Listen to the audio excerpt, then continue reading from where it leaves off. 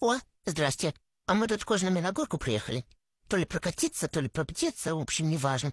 Главное, что не дома сидели, то мы как медведи, блядь, впали в спячку. А мне что делать?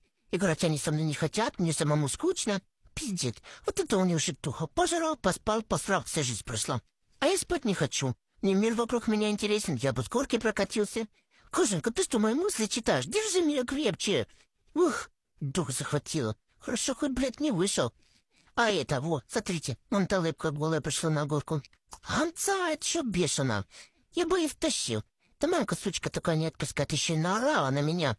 Ну, что творит. Смотрите, порода, наверное, гончая. Она вообще, походу, без тормозов. Эх, весело у них тут. Я бы тоже с ней подонцал. Да блин, мамка у меня такая чересчур заботливая. Еще эту шапку дурацкую напялила, выгляжена она как чмошник. Кузин, ты хоть не моя теперь глазами? Где это гончая делать? Вот кому точно похуй мороз, так это ей.